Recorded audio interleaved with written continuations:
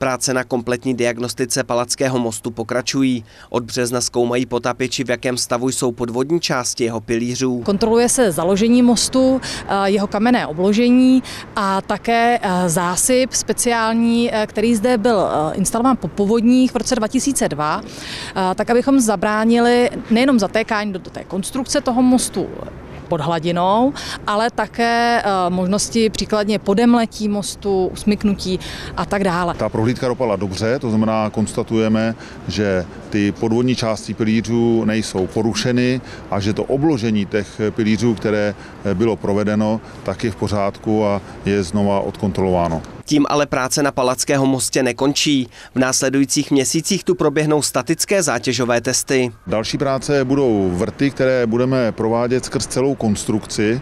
To znamená, každý pilíř, které tady máme, tak bude provrtán a tři z nich, tři vrty z nich budou do hloubky až 30 metrů.